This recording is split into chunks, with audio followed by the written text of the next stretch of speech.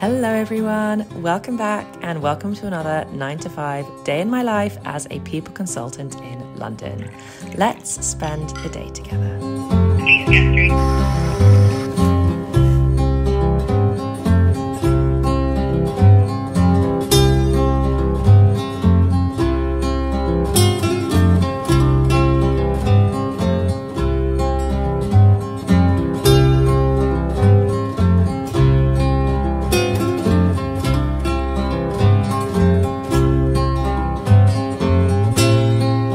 Guys. Good morning. I am getting into a pretty good rhythm of going into the office two days a week now. The company that I work for has set that they want us to come in every Tuesday and Wednesday. So that is what is happening. It is Tuesday for me today, and I'm going to take you into the office with me, and we are going to spend the day together in a very normal corporate day in the life. So I am late as always. I even though I'm going in two days a week now, I'm still seem to be always late when I have to go into the office versus working from home because it just takes me that much longer to get ready. And I just don't understand how like pre-COVID times I could literally like get up and get out the door in like half an hour. It takes me like a good hour and a half these days. Anyway, so we're heading off and this is what I'm wearing today. This top from Abercrombie, I recommend so much. I've got it in black and white. I got in a medium, but I wish I'd got it in a small. It just only had a medium available, but it's actually like a little bit baggy here. But I just think the top, the neckline here, is just really nice and it feels quite sophisticated. I love it. Anyway, so I've got white Abercrombie bodysuit on and these trousers, oh actually they're, I'm, I'm in all Abercrombie today. These trousers are also Abercrombie. I love their tailored trousers. They've got so many different options. They've got the curve love options if you have slightly bigger bum or hips. And they've also got varied lengths as well. But yeah, I'm just such an Abercrombie hype girl. Anyway, this is what I'm wearing into the office today. I've got my trainers on. I always just wear trainers into the office to be honest and then dress like slightly smarter on the top. Got my bag together. I need to stick my coat on. It's that weird weather where like I kind of need a coat because it's autumn, but I also kind of don't. The last thing I want to do is actually grab an apple from in here.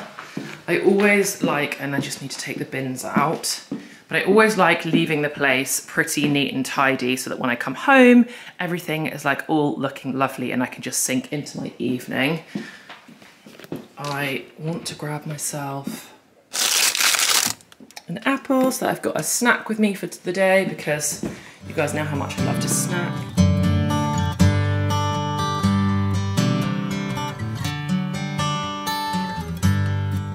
I've talked before about how I think commuting gets a bit of a bad rap. Don't get me wrong, there are times when I absolutely would rather not, and being crammed on a train or a tube with lots of very sticky people in the heat of summer is not something that's very nice. But I do think there is something to be said for having some time that is completely to yourself. There is nothing else you can really be doing that's productive. It's for you to spend as you like. And for me today, I have this rather magical moment where everybody just completely emptied off the train before we got to Waterloo.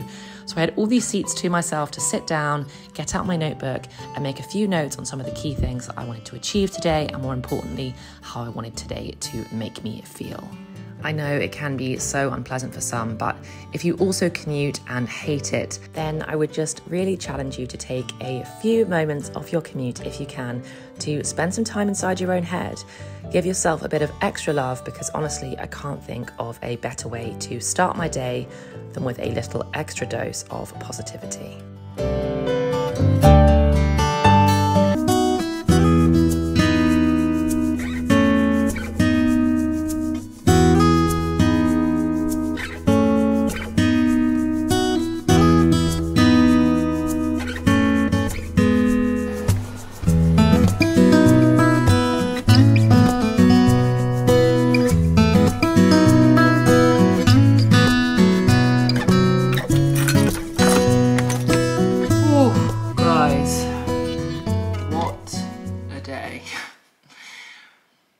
What a day. I feel like I'm still slightly shell shocked. That was truly one of those days where it was just back to back to back to back. It's later than I would want to come home. I also halfway through the day started dealing with stuff with the house that we're trying to buy, which I've told you guys about. It's like, it's the dream, dream home. And anyway, we've got some hiccups that have just come up and the people that we're buying it from have like not done some things they said they were gonna do. And so now it's like unclear whether we're gonna get it because we need to make a decision about whether we're happy with the amount of risk that we've now got because of the things they haven't done. Oh, I know everyone says it every time, but like buying a house is so stressful and then on top of a busy day. Wow. Anyway, I'm gonna shake my mood. I'm sorry to be flat with you guys. I always wanna be positive, but this afternoon's killed me off. I was at such a good morning, right? We were having such a good morning and then this afternoon has just not treated me nicely. Anyway, I'm sure everything will be grand with the house. I'm sure it will be fine. I'm putting good vibes out into the universe. Help me, please also put good vibes out there for me that we get it. Otherwise we are back to square one. And I'm also home to my Sephora order because if there's anything to celebrate, it's that Sephora is now in the UK. And I only ordered a couple of little things, like it's a tiny box, but um, but yeah, I did order two things that I've been absolutely desperate for. So before I make some dinner, because I'm so hungry, I thought I'd show you. One is the Tarte Shape Tape Concealer. Truly the best concealer in the world. If you want like a full coverage one, I've been using the NARS Radiant Creamy Concealer, I think it's called, in the interim, because I used to just order this from the States and then just get it shipped over from the US. And then I stopped. And anyway, now I've got Sephora in the UK. So I've got another top up of my Tarte Shape Tape Concealer because you guys know, or maybe you haven't noticed, but I notice it all the time that I get really, really dark under my eyes, like when I don't wear makeup, mine are just naturally really dark. So everyone's always like, are you tired? And I'm like, no, actually, I've just got dark eyes. But anyway, and nothing brightens them quite like this. So highly recommend if you also suffer with just naturally looking tired all the time. And then the other thing that I have been desperate for, and every single time I've tried to buy it anywhere, it is always out of stock, is the Shiseido eyelash curler the iconic one, which is just meant to be like the best thing ever for curling eyelashes. Honestly, the amount of raves that I've heard about this are unbelievable and I've been absolutely desperate for it. And now, now we've got it. I bet it's the same as all eyelash curlers. It's just got magnificent marketing. But I'm really excited to be proven wrong and that it's actually mind-blowing because mine broke while we were in Corfu, so I haven't had eyelash curlers now for a couple of weeks. Anyway, got that, and those are the only two things, but sometimes we don't have to do massive hauls, guys. We don't need to buy everything in the world, but these two little purchases make me very happy. So that has helped boost my mood. The next thing that will help boost my mood is eating some food because a salad and a yogurt is not enough for a girl for a whole day, calories wise. I can feel my energy levels depleted. But this is where we have set ourselves up for success by having leftovers in the fridge.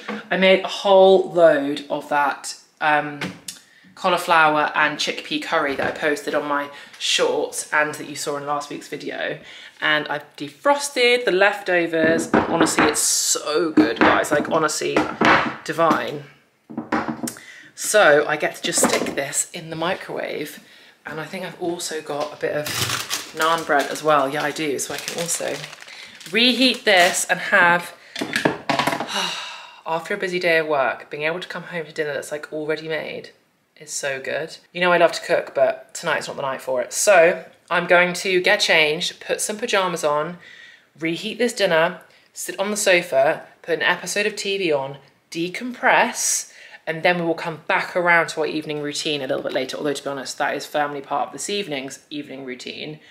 And then I'm gonna have a little bit of a reflect in an hour or so, what productive things we want to get done this evening so that I feel as recharged and set up for success tomorrow as I possibly can be because yeah, it's a Tuesday, I'm knackered, we still have several days of the week to get through and so it will not serve me to just sit and scroll on my phone all night because it's just going to mean I'll wake up tomorrow being like, oh, what am I doing today? Confusion, a bit groggy. I just don't feel good after I've done that for a night. So we're going to eat some food, watch some TV for an hour, get some comfy PJs on, and then we're going to revisit our productivity for the evening. Okay, let's do it.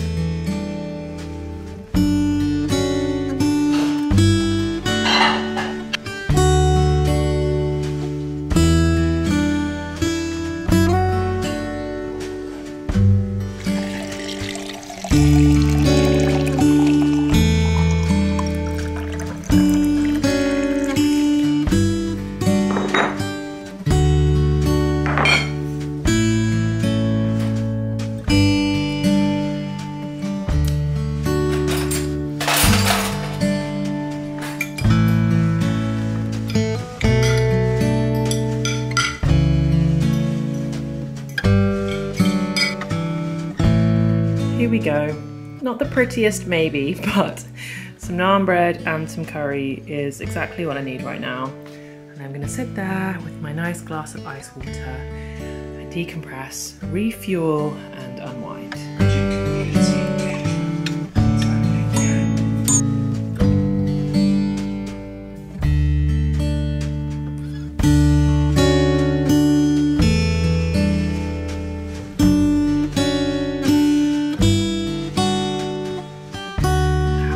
sat here doing emails instead of actually being able to unwind?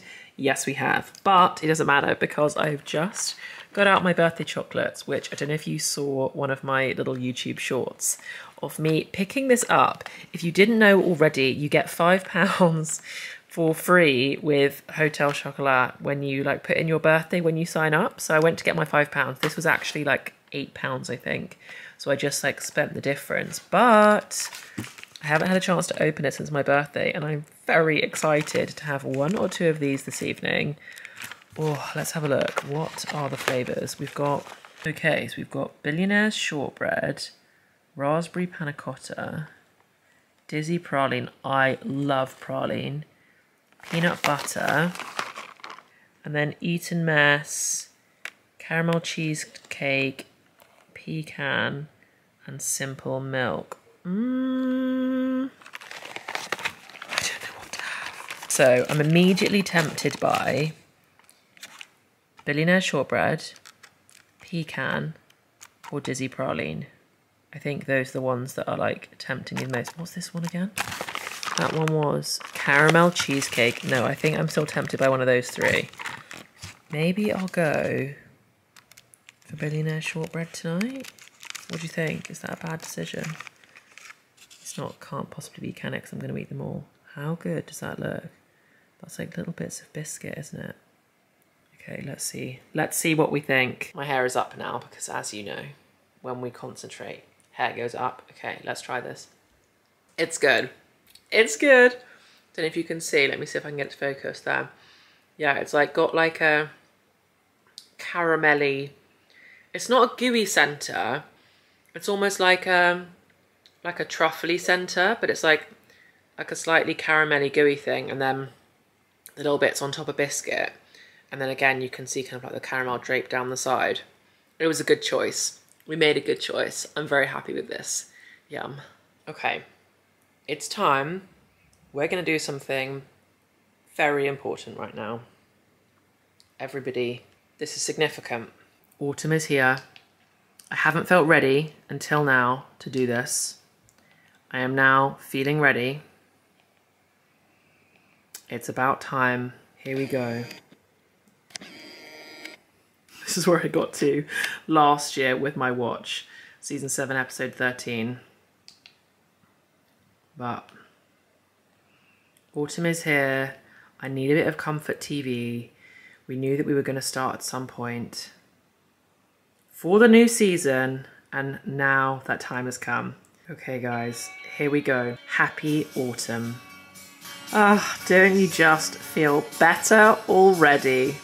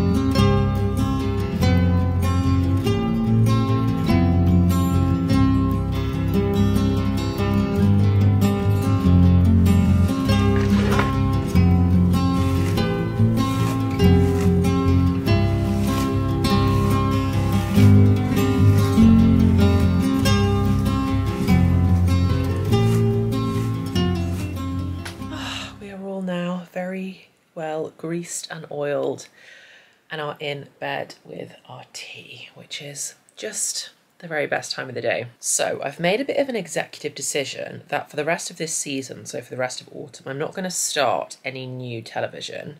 I am going to be watching my Gilmore Girls, but because I've seen it so many times and literally know every single word, it's something that I can both watch when I need like cozy comfort in a focused way, but I can also just have it on in the background. But apart from that, apart from Gilmore Girls, I have decided that I am going to read this season instead. I've already said that reading is like one of my goals for this season, and I'm really excited to experience being able to read my book by the fire in the new place.